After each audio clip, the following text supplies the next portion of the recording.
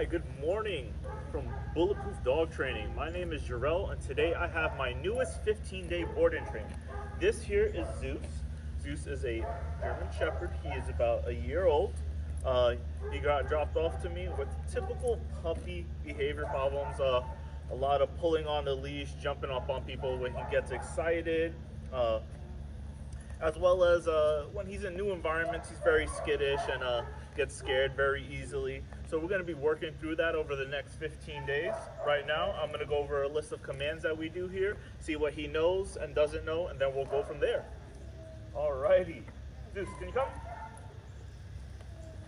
Zeus, come.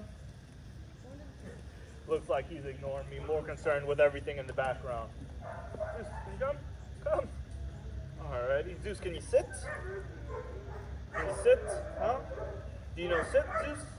You know sit? Oh, there you go. Good boy. Alright, what about this one? Can you down? Hey, Zeus. Down? No, he doesn't know down either. What about heel? Can you heel? Heel?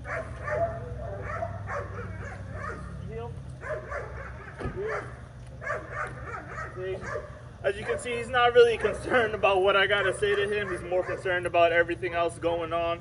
Uh, over the next 15 days, I'm gonna be working with Zeus uh, every day, and we're gonna practice on all his commands: sit, down, come to place, heel, as well as a few other ones.